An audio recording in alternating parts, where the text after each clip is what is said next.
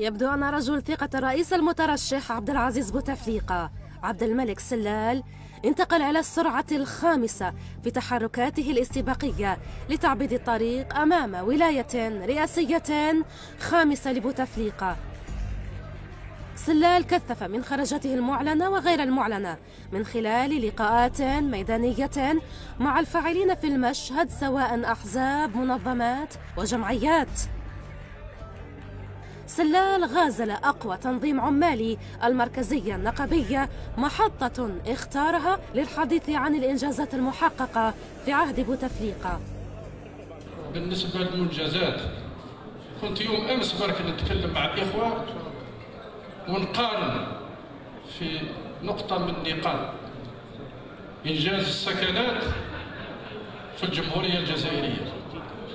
لما تشوفوا الأرقام الشيء اللي أنجز من 2000 إلى أواخر 2018 يساوي نعطيكم الأرقام بالتدقيق فما بعد يساوي كل ما أنجز من الاستقلال حتى سنة 2000 في الجهة المقابلة فريق حملة الرئيس المترشح عبد العزيز بوتفليقة يعكفون على صياغة ورقة طريق الحملة عبر وضع آخر الرتوشات.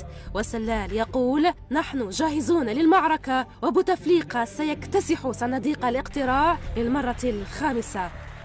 أنا على يقين أن سننجح أن سننجح لأن الترشح نتاعو شوفوا الصدى في القارة الدولية.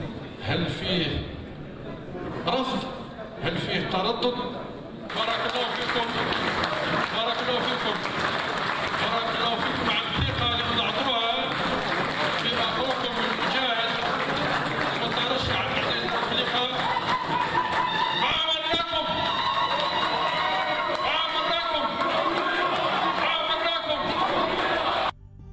بوتفليقة الذي استطاع حشد تأييد كبرى الأحزاب والمنظمات الجماهيرية. سيتبنى مناصري حصيلة فترة حكمه على أكثر من صعيد خاصة مقاربته الاجتماعية في توزيع ملايين الوحدات السكنية وسياسة الدعم وحماية الفئات الأقل دخلا. ناهيك عن عودة الأمن والاستقرار والإصلاحات المجسدة في كل القطاعات.